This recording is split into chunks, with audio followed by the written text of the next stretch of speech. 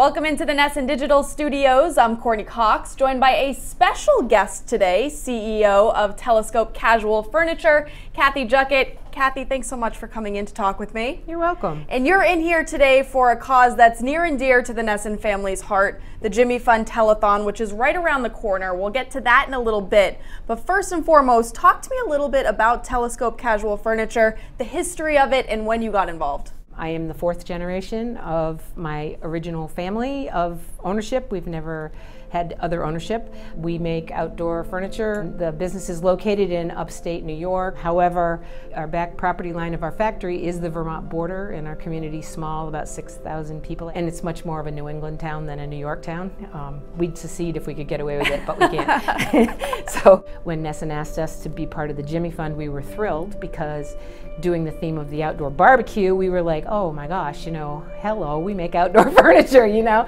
and we make backyards beautiful. And you know, when someone's battling cancer, the family support is so huge. And, right. you know, with all the costs associated with it, so often families can't go away on vacation. So our products are a way that they can make their outdoor space special if they are staying home or are rallying around a family member that's battling cancer or any other horrible disease to just make it nicer.